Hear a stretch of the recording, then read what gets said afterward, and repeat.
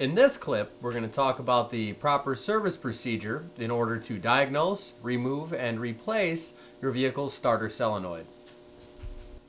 In this step, we're going to talk about the proper way to hook up your starter solenoid back to the rest of the vehicle's electronics that we disassembled for service. Your new solenoid more than likely came with a small hardware kit. That's going to be all brand new nuts and washers. Some of them you may use, some of them you may not. I'm going to show you the exact procedure on this one.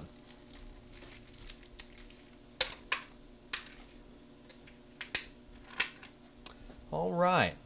First to go on is going to be the wire that runs to the power distribution center.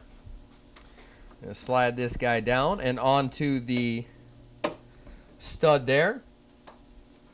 Second wire to go on is going to be this one here. I'm going to slide this one down and onto the stud. Just like so.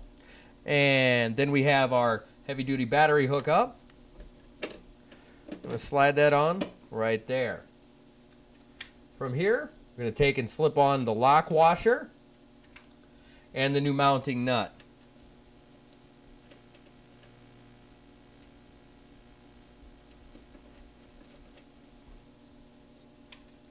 Then going to take and install the lock washer on the other stud. Then install the nut.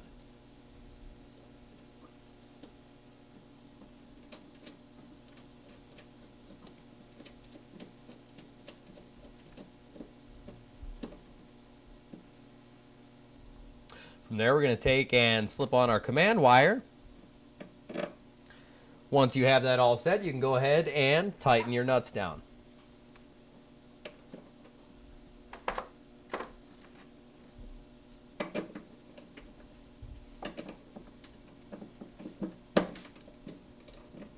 The size may change from the original equipment to the replacement mounting nuts. This one changed from a 9 16 to a half inch.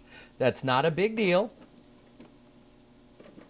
You do not want to over tighten these. You want to pay attention to the lock washer and tighten them down just until the lock washer collapses all the way and then go approximately a 16th of a turn more. Just like so. If you over tighten these, you will crack the Bakelite plastic case and destroy your new starter solenoid. That is the proper way to rehook up the wiring for your starter solenoid.